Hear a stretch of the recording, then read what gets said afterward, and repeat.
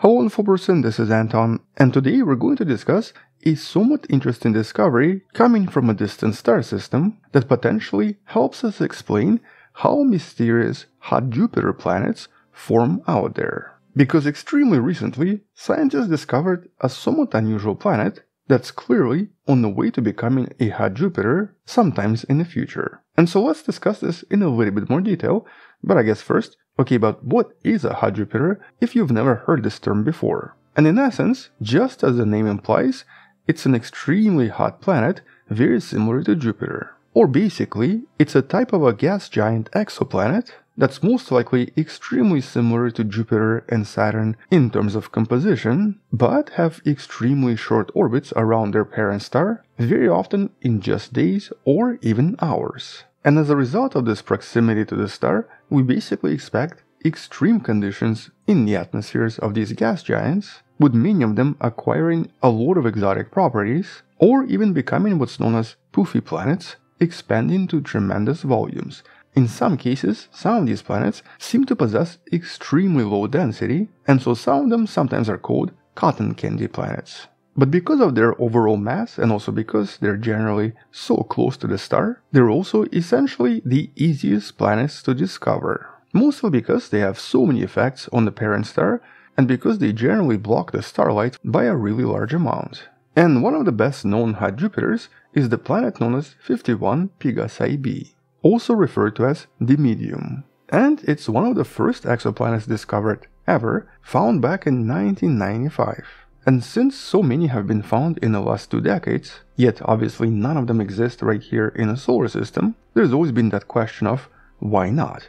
Why not here? Why in so many other star systems? And more importantly, how exactly do they form? Now, obviously, all these exotic conditions and exotic atmospheres are most likely produced because of the proximity to the star, but these are gas giant planets, and so it's not entirely clear how they actually ended up so close to the star, and usually with such an extremely perfect circular orbit. Although interestingly, these types of objects seem to be more common around F-type and G-type stars, so basically stars similar or even larger than our Sun, and are extremely unlikely around smaller K-type stars, or practically impossible around red dwarfs. And so the mass of the star seems to play a role here, but still nothing around the sun.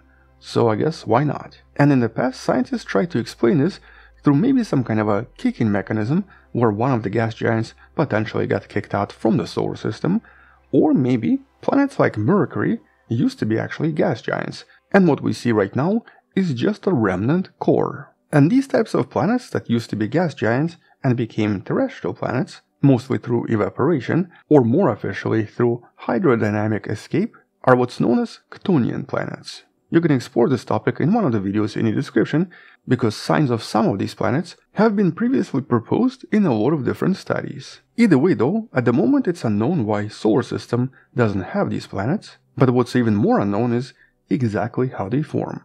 And right now there are basically two main propositions. Because of the extremely circular orbit of some of these planets, it's been assumed that maybe they actually form here somehow, possibly through some kind of a leftover from when the star system forms, or because of some kind of accumulation of all of this dust in the location very close to the star. Although in this case, it's not entirely clear how any of this works yet. Unfortunately, as of today, no evidence of such formation has been actually discovered anywhere, and so at least for now, this is just a hypothesis. But a much more interesting mechanism and a much more interesting explanation involves an orbital migration through what's known as the Kozai mechanism or some other gravitational interaction where initially a gas giant forms somewhere in a region where usually we expect them to form in a much colder place in the star system, but it ends up forming with either a high inclination or some other unusual orbital parameter that eventually causes its orbit to become more and more eccentric. This is usually referred to as the Kozai mechanism. One of the older videos in the description talks about this more. And so then, through a process of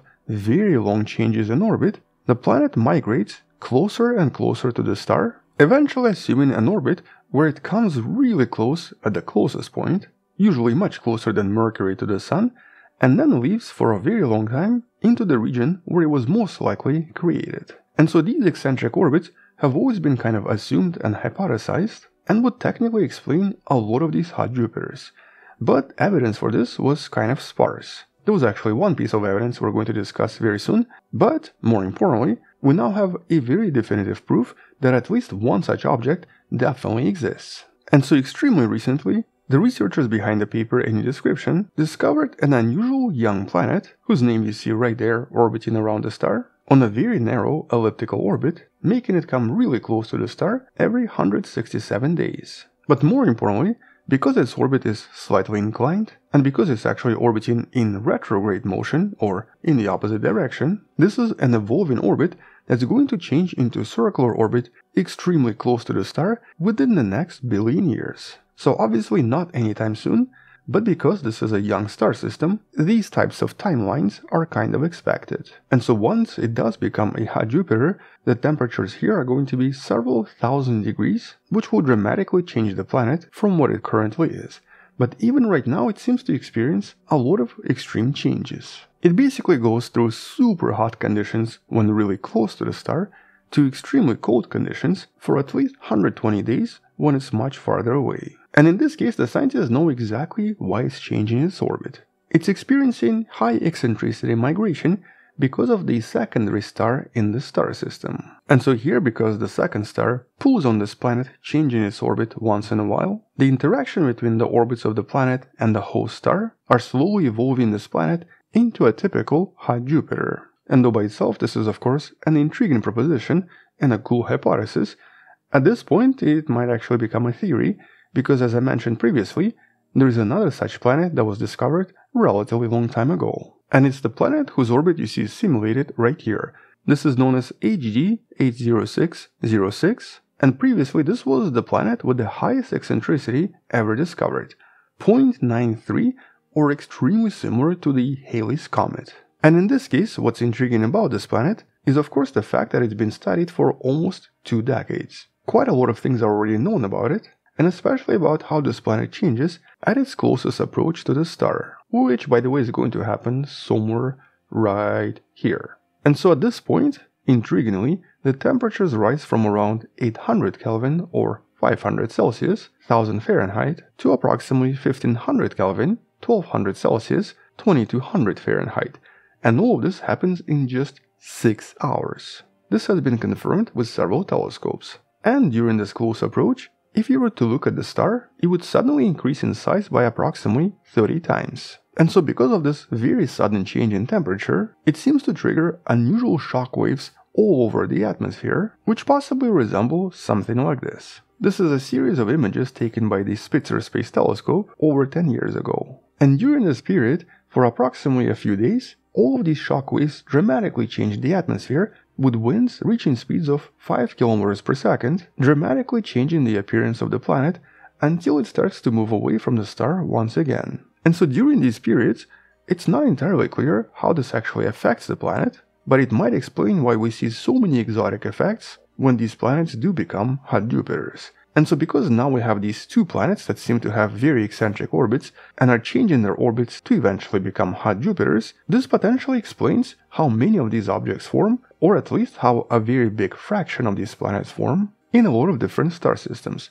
But when it comes to the solar system, because we don't actually have a binary star, and because there are no additional gas giants out there that could maybe influence an orbit of an object to become a hot Jupiter, it also provides an explanation for why we don't seem to have one here. And so at least for now, these two detections provide us with at least one major explanation for how hot Jupiters form. But obviously future observations might discover something else. And so at least for now, that's pretty much all I wanted to mention.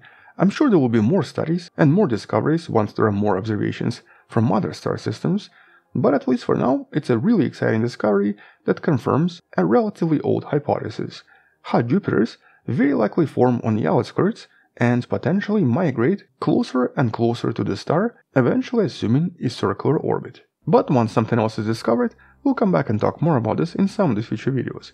Until then, thank you for watching, subscribe, share this with someone who loves learning about space and sciences, come back tomorrow to learn something else, support this channel on Patreon by joining channel membership or by buying the Wonderful Person t-shirt you can find in the description. Stay wonderful, I'll see you tomorrow, and as always, bye bye.